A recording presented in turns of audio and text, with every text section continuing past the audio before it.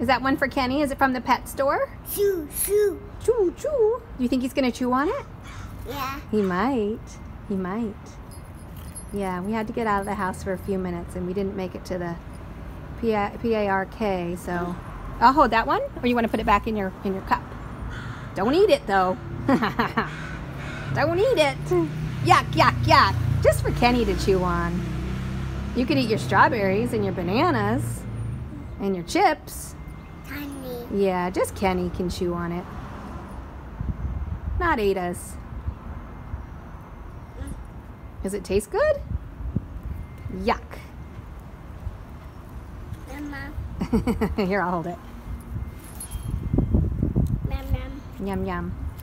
Yeah, Eat. Eat. some yummy bananas.